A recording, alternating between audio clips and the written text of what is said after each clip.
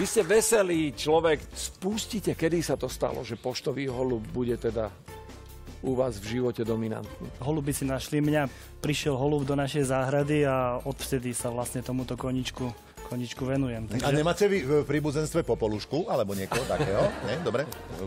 Chodia klopkať na okno. Hovorí sa aj, uleteli ti holuby alebo čo? Oni sa vždy vracajú domov, takže preto bola aj tá indícia, stretneme sa doma. Keby ste sa presťahovali, kam sa vrátia? Vždy sa vrátia tam, kde prvýkrát opustili holubník, prvýkrát vyleteli na strechu, takže tam sa holuby vždy vrátia. Takže sa nemôžete ani presťahovať, nikdy, v prípade, že chcete tie holuby. Urobil som to pred dvomi rokmi. A čo sa stalo? Tie najlepšie som si nechal vlastne do chovu, tie, tie sa venujú rozmnožovaniu. A to oni takto prichádzajú, som myslel, že letia. Letia, ale tak tuto by sme to asi ťažko nacvičili, takže toto je holubička. O, holubička, ktorá ktorá je nejaká šampiónka? Celý manšaft je pripravovaný na prvý pretek sezóny. A ona nepoletí? Ona nepoletí, lebo na začiatku sezóny bola poranená dravcom, takže je v rekonvalescencii. U vás majú holuby aj mená, alebo len čísla?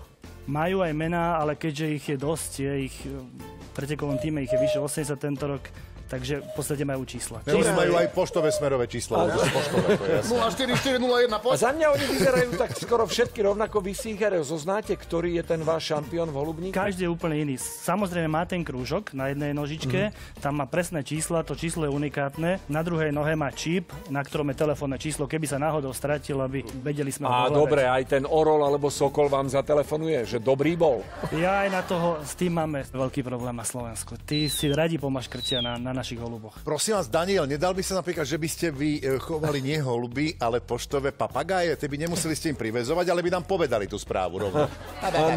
vám odkazujem vám, Daniel, že máte... Daňového úradu vám odkazujú, aby ste sa okamžite dostavili aj s dokumentami. To je ešte vlastne otázkou ďalšieho kríženia, to sme ešte neskúšali, ale možno teda A prosím vás, a vy reálne posielate nejaké správy? Normálne od, od niekam odnesú? Ja Ženie do potravín. Hovorím, že raz budeme v balíku, keď padne internet. Viete, keď Aha. budeme posielať cez poštové holuby, ale tak viete, ten e-mail rýchlosťou... No, teraz sme už neboli od toho ďaleko. Holuby mail. Čiže sme si už hovorili, že už prichádza naša doba. Mm. Koľko ich máte? Asi 200. Koľko stojí naozaj kvalitný, dobrý poštový holub? Na Slovensku 10-15 tisíc. Vážne? Uh. A tak... Jeden holub? Jo, tak dajte, nech si ho trošku Svetovo špičkový holub? Asi je jeden, no. Najdrahší holub bol zatiaľ vydražený za 1,3 milióna eur. Prosím. Bolo to asi pred dvomi rokmi. Belgický chovateľ predával celý chov a jeho najlepšia holubica, ktorá mala špičkové preteky zaletené, tak sa predala za takéto peniaze. Táto holubica mieru koľko musí stať?